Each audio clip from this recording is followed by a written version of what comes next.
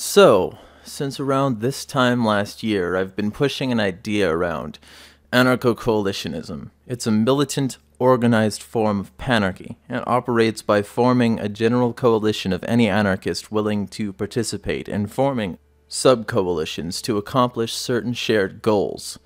So naturally, this brings out the midwits from the woodwork, seeping up from the floorboards as an amorphous paste to tell me you can't work with X group, they're not real anarchists.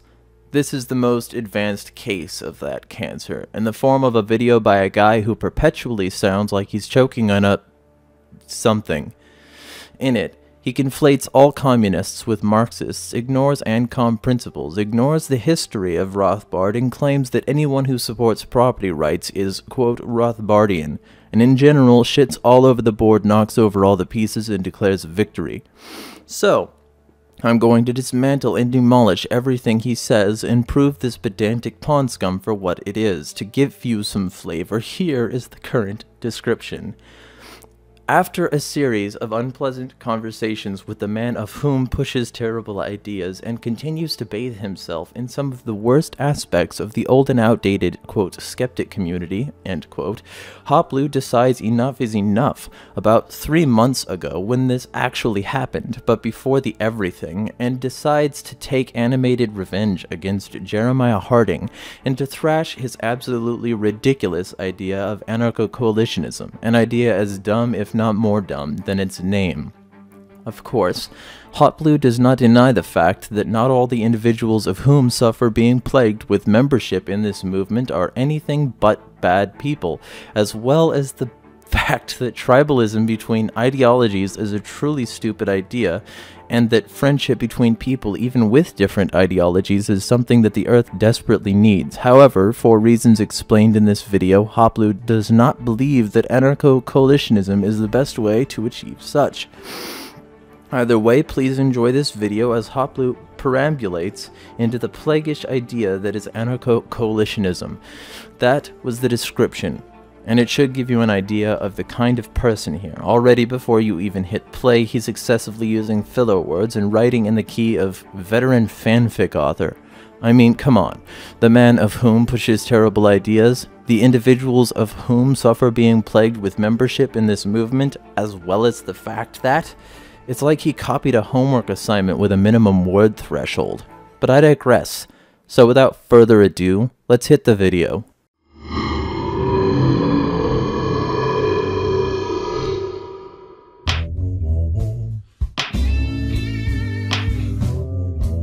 To the Lord that blessed me with my sandwich. Am I a bit late for this one? A while back, Actually, about a month or two ago, Spread and I had accidentally made enemies for life with a man named Jeremiah Harding, a skeptic Gamergate Gorham with an eternal case of hair after Spread had taken a very large issue with his new idea, anarcho-coalitionism. Anarcho-coalitionism is, as is pretty self-explanatory, the idea that the different sects of anarchy, anarcho-capitalism, communism, mutualism, Judaism, etc., etc., etc., should set aside their differences and instead create an anarchist alliance intent on ending the state through the means of blinding them to death with this edgy ass logo, and in its place establishing a pan anarchist, panarchist utopia. Sprin is someone I'd consider myself having animus toward. You?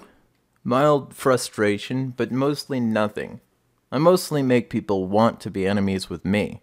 Like the kind who makes a video calling my idea of positive change a plague. Seems like you'd rather be my enemy than the other way around, to be honest. I'm an enemy magnet, though. It's understandable. Anyway, you misunderstand the point of AnCoal. It isn't just to combine into one group. It's to have a primary coalition understood and sub-coalitions for various goals. I do suppose I should make a video explaining this in more detail, but your surface level dismissals are facile at best. We're not always going to agree with each other. That's absurd. We can, however, work together where it works, and AnCoal seeks to build bridges wherever possible. It also seeks to shrug the image that many anarchists have been trying for, where we're all supposed to be a bunch of peaceniks in the face of the totalitarian state. I put it this way Anarcho coalitionism is militant, organized panarchy. Pacifists are obviously welcome, but so are the enraged, and that's why I chose the logo I did. It's not grandiose, and it's not colored with a color any of the primary schools of anarchy claim. It's a small amount of light, contrasted with a black background comprising most of the image. It's a mostly dark image, with the contrast being the light, metaphorically and rhetorically valuable to the message. And it has a gun. Huey Newton put it well. Sometimes, if you want to get rid of the gun, you have to pick up the gun. The gun is a symbol of popular liberation, and I won't let that be forgotten in which the form of anarchy is voluntarily chosen by the different communities and what have you in a sort of mosaic society. So what have I against this exactly? I mean, I'm an ANCAP. I want the state to die, and I don't mind people practicing a voluntary communism. So what's the problem? To answer that question, I must respond with a confusing mess of messy answers of which will undoubtedly confuse you to the point of confusion and misery. Either way, the point of which I am trying to confuse you with is the fact that no communist will ever be a panarchist. Hoploo, what the hell do you mean by that? There are plenty of people who describe themselves as communists but are willing to peacefully coexist with anarcho capitalists. Many of whom you consider your friends. Oh, hell, why are you still alive? Answer my question. Ugh, fine. At two minutes in, you completely detonate the rest of your argument while also shooting the voice of reason in your video. I know this is meant to be played for laughs, but really my entire response video could have just been this clip with the theme for Curb Your Enthusiasm in the back. The world's politics run on memes anyway, so I could have, but fortunately you're dealing with a pontificating asshole with a brevity problem. So after you disagree with the character in your video that's correct, I'll continue. What is an undeniable truth of the matter that is this matter is that panarchy, the end goal of anarcho-coalitionism, requires voluntarism at its basis. The reason why is for the obvious fact that, for these different anarchist communities to peacefully coexist, there must be an ethic of property of which prohibits the aggression between anarchist tribes of whom follow different sects of anarchy. Otherwise, what is it that stops the anarcho-primitivist from undoing the anarcho communist? What stops the anarcho capitalist from vandalizing the queer anarchist? And what stops the mutualist from being invaded by anarcho pacifists? What I would answer to this would be the Rothbardian answer, and that is to privatize the community so that aggression between them is strictly prohibited, as that would be a violation of the non-aggression principle. However, there is an apparent problem with the concept of privatization in the context of anarcho-coalitionism and panarchy, and that is what should be a no-brainer that not every single sect of anarchy supports the position of privatization, many of which are even flat out against its very existence. Anarcho-communism, for example. It is true that it can be debated as to what quote-unquote true communism is. However, the fact that it is against the concept of privatization should be fairly obvious. In fact, Marx's own summary of communism is the abolition of private property. The linchpin of your counter is that panarchism requires voluntarism. No shit. But then you go on to conflate all communists with Marxism, fold your arms, and declare victory, when in fact, non Marxist communism is something one can Google and even has its own entire section in the wiki entitled List of Communist Ideologies. I've included the link. Notably, after it gets done listing 13 schools of Marxist communism which require outright statism or a statist transition period, you get to this section. And what's the first subheading? Anarchist communism. How amazing that anarchist communism is not a part of the communism what's manifesto is always used to justify that which isn't anarchy. Under this subheading, you find out about Peter Kropotkin, syndicalist communes, and the next subheading of Christian communism, all involving statelessness and pushing for a stateless society. Almost like the Marxists aren't who I'm trying to convince. Almost like your video is a straw man against the one reason you cherry pick to dislike AnCoals, that it wouldn't let you just dismiss anyone but your friends in anarchist YouTube, trademark, or on Twitter. Almost like the existence of authentic anarchist communism pokes holes in a lot of the quote memes you lot share around. Almost. But this would mean that simply donning the black and yellow doesn't win you the debate already, and as we're about to see, you aren't on board with that change quite yet. So how does this pose a problem? To answer that question, imagine this situation of which I am about to describe to you. Once upon a time in the glorious panarchist glorious utopia, an anarcho-communist tribe desires a shiny piece of property held by the neighboring anarcho-capitalist tribe. They really, really want it. And fortunately for the anarcho-communist tribe, they do not believe in the concept of private property. In fact, their whole philosophy is about the abolition of such. Do they, the anarcho-communist tribe, have the right to grab their guns and waltz into the Ancap tribe and seize the property for themselves? If your answer was yay, then you have properly proven to me why there is no means for panarchy to exist. As this violates the right of the anarcho-capitalist tribe to the self-determination of which would be granted to them by panarchy, as it could be violated by a neighbor with a different view of property and anarchy. This point of property is a straw man that many ANCAPs blithely take at face value. However, the reason ANCOMs joke about taking your toothbrush is precisely because they know it gets under the skin of whoever accepts this without any scrutiny. Anarchist communism is not opposed to personal property but private. In anarchist communes, you're either entitled to whatever was agreed to upon entry and whatever you can make with your labor, or a cut of what the community produces, providing you work as a part of that production.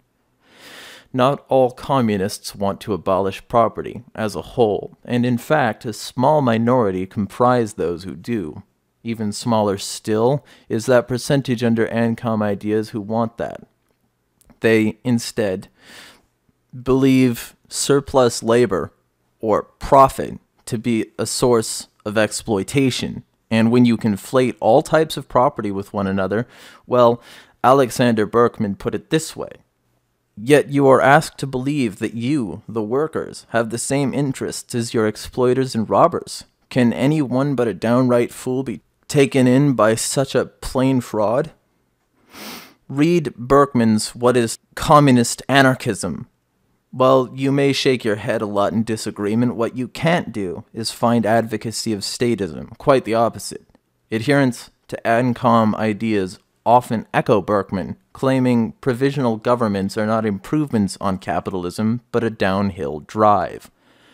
More examples of this mindset exist, but I want this vid to be under 20 minutes, or it'll take all day to upload with fucking HughesNet. But your privatization propaganda, has my inner Berkman coming up anyway, as many believe little could be done to mitigate monopolist disputes if certain things weren't considered non private. And Rothbard cucked to the rightist state before he died anyway. See my piece on his, quote, unleash the cops comment, and how his politics at the time of issuing that comment were surrounded by a phalanx of impatience driven right wing populism his view may have at one point been anarchist adjacent, but his is a cautionary tale of what happens when you hate the left more than you hate the state. Still, I can't help but notice that again, you conflate all communism with Marxism and refuse to acknowledge the distinction ANCOMs make between private and personal property. This is a fatal error in successful counter argument, and you realize that if you actually studied ANCOM ideology you've made it clear you haven't. In order to run a successful coalition, it takes people who've looked into the various schools of anarchy enough to know what they advocate, and not strawman like this. It's not lost on me how someone who hasn't looked into the various schools of anarchy would think AnCoal is impossible. If the breadth of your philosophy is internet memes and you try for the big boy conversations, you're gonna have a bad time. At 4 minutes 8 seconds in, you ask a question easily answerable by the ANCOM position. Do they have the right to seize the property produced by a neighboring tribe? No. They are not the worker who produced that, nor are they the community they might think it belongs to.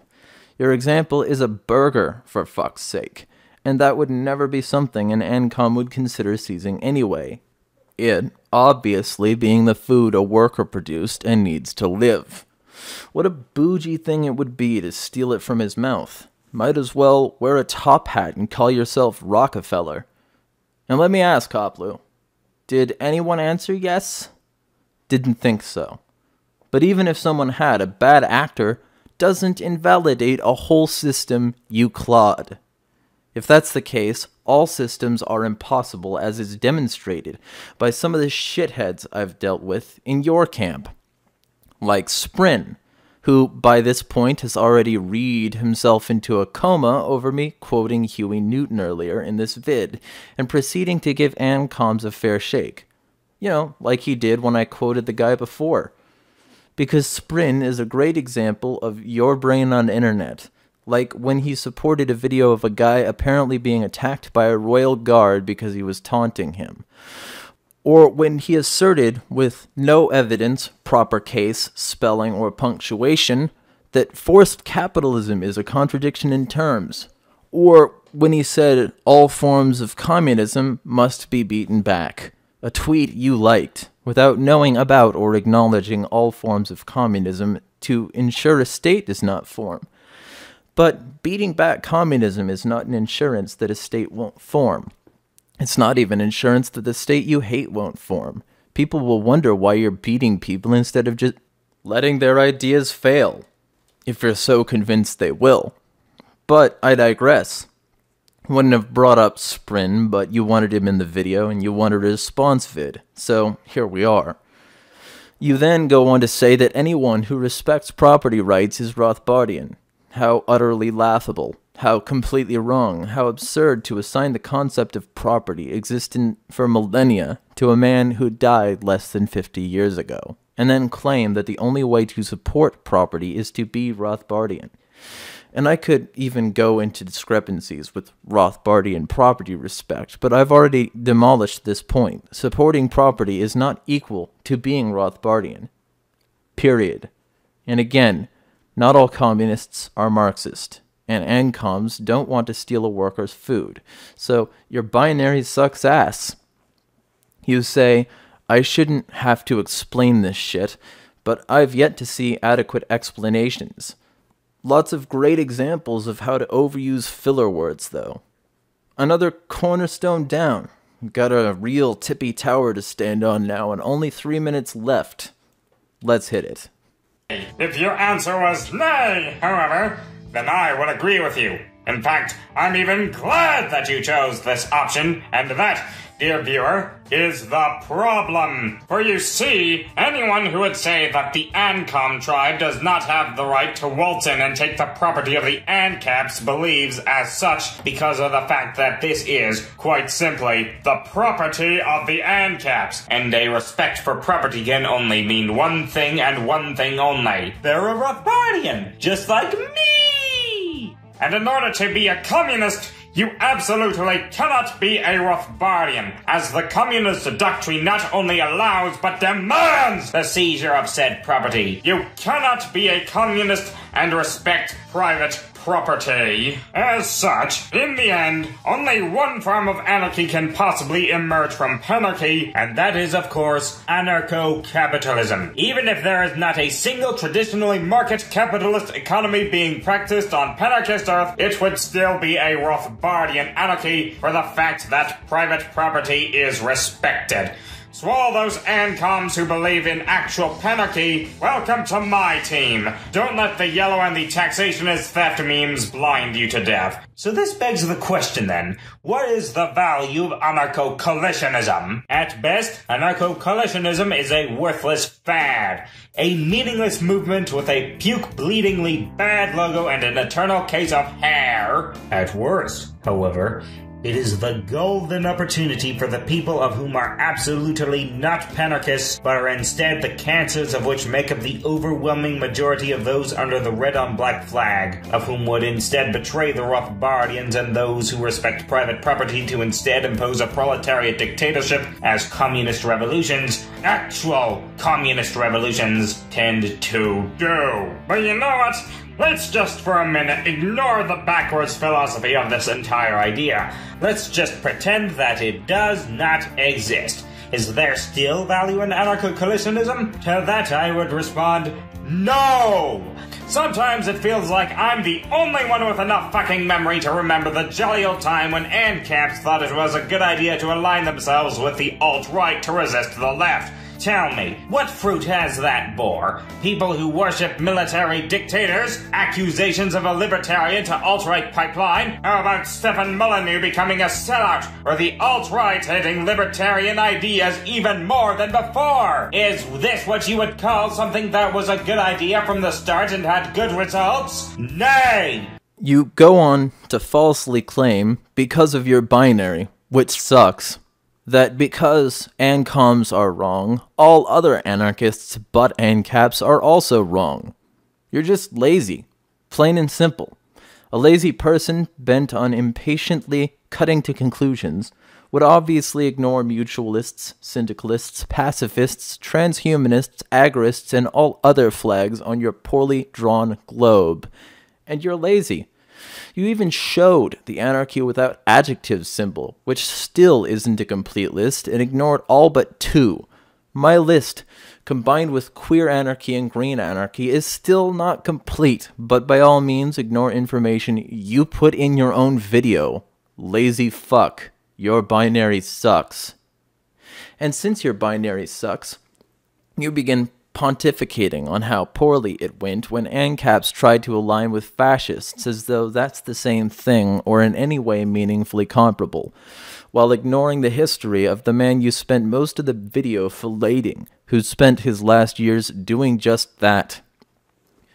Further, Rothbard wrote as early as 1950 that anarchy was too leftist a term and that libertarians ought not call themselves anarchist. I could go on, but I think I've made my point. So, no, anarchists don't necessarily support your or Rothbard's positions, nor does any propertarian need to also be Rothbardian.